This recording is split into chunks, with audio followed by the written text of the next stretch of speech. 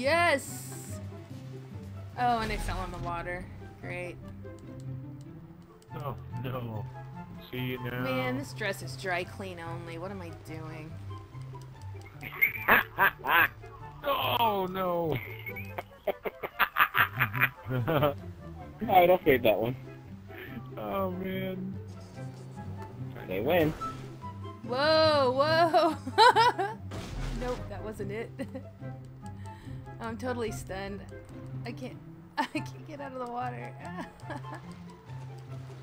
There's gonna be like 900 million dead cars at the bottom of this harbor. They're gonna have to dredge it because the ships can't get through anymore.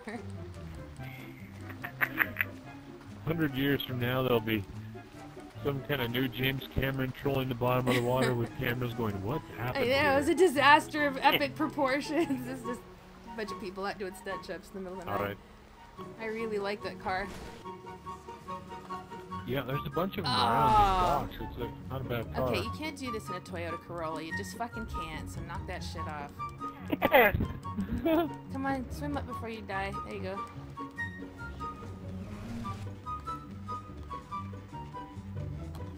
Oh, I didn't land on my wheels.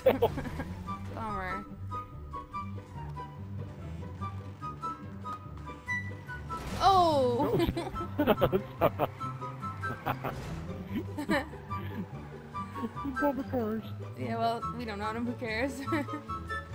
oh, oh!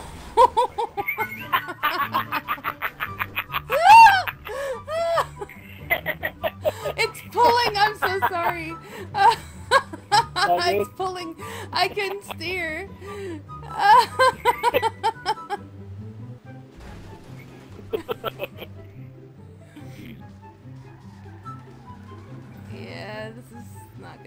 Work. This is totally not gonna work. That's not gonna work.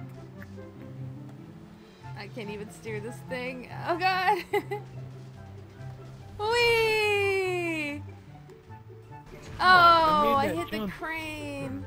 Aw. Almost made it. Thanks for setting it on fire. That was really cool. it's like, and now for the death-defying stunt of the evening. Sir, I don't mean to sound accusatory, but you have filed 17 insurance claims in the last 48 hours. Luckily, that never happens.